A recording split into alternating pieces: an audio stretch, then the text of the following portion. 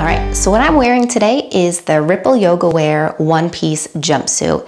It is one of my favorite pieces to wear when both practicing yoga, teaching yoga, and usually just going outside and running some errands. So what I like is that it's not super skin tight and you might not even be able to see from far away that it's actually one whole piece. They've got this nice large band right around the middle that almost looks like the top piece tucks in, but it doesn't. It's all connected. It has these two little pockets. Like I can't say I actually use them for anything, but they are there.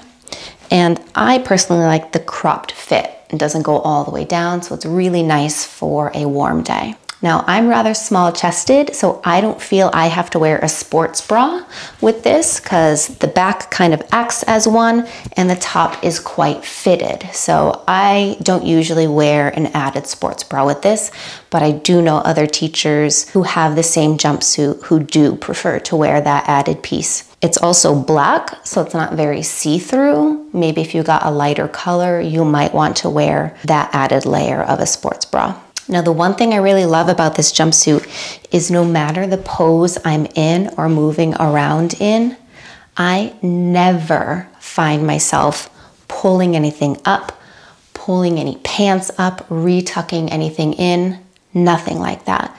When I forward fold, there's plenty of space, nothing feels really tight or constricted. And when I come back up, everything's just kind of where it was as if I were just standing up. I don't feel like I need to release anything because it's nice and loose fitting around the hips and the crotch area.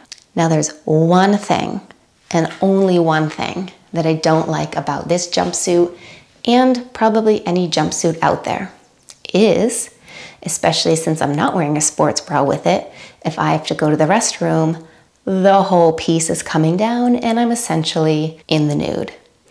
So that's the only thing. I don't usually wear this jumpsuit in colder, cooler weather because that means I probably have a sweater on over and then that means sweater off, then jumpsuit down to just go to the bathroom. So this is definitely my go-to for spring, summer, a warmer fall kind of weather. But unfortunately with the crop and the fact that I would need a sweater in the winter, I don't usually wear it in the wintertime. So if you have any questions about jumpsuit leave a comment below.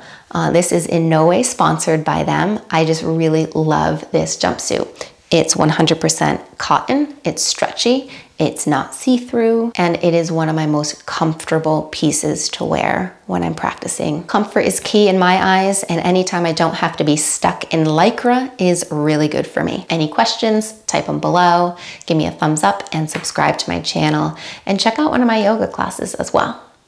See you later, everyone.